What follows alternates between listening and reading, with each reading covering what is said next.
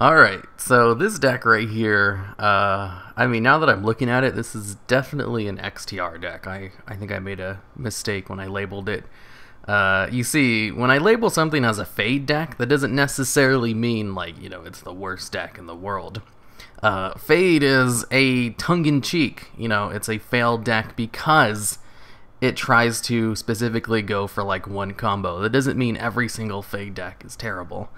Uh, I've been getting a lot of comments about that, and I was like, oh, I mean, I guess it's it's been a while since I first introduced it, and people just assume all Fade decks are terrible, because uh, a lot of them are.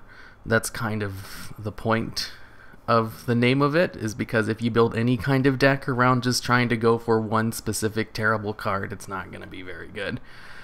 Uh, that being said, this deck right here goes for the theme of stealing your opponent's cards, uh, specifically with enemy controller.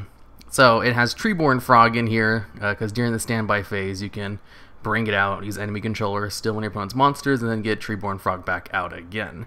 Uh, I think I only did that one time in a duel that I ended up losing really badly, so I'm not going to show it, and I don't think I actually really use enemy controller very much.